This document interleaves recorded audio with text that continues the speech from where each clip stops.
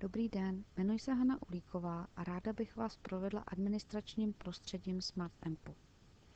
Když budete mít už ověřenou školní doménu, tak potom je potřeba navštívit stránku admin.smartamp.com, která se nám určitě za chviličku ukáže, a kde nejdříve zvolíte tu cestu přes registraci a licenci.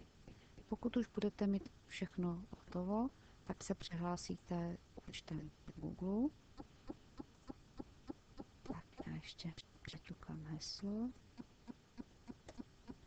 A za chvilku se odstneme v administračním prostředí SmartAmpu. V té horní části se můžete okamžitě dozvědět datum expirace vašeho používání SmartAmpu, když se můžete podívat s rozkliknutím na eh, to, že těch klíčů vlastně postupně i u nás už na škole bylo použito více. Budete-li chtít přidat klíč, tak klikneme zde, vložíte klíč, klíč přidáte a následně potvrdíte.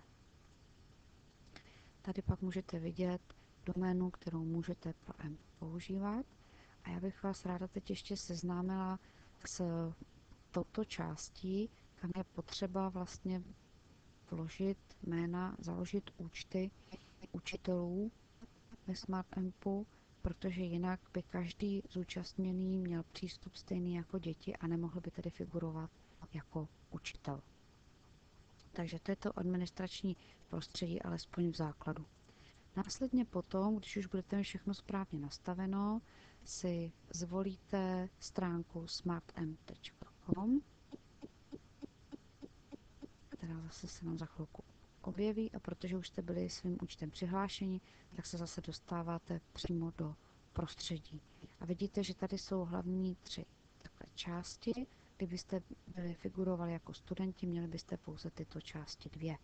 Ještě bych vás ráda upozornila tadyhle na tu horní část, kde vidíte, že jsou jednotlivé třídy.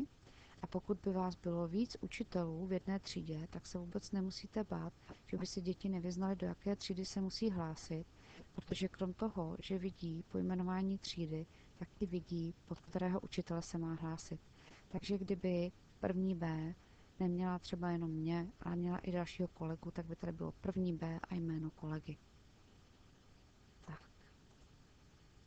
To by bylo pro dnešek všechno. Doufám, že jsem vám zase trošičku pomohla a budu se těšit zase příště. Naschledanou.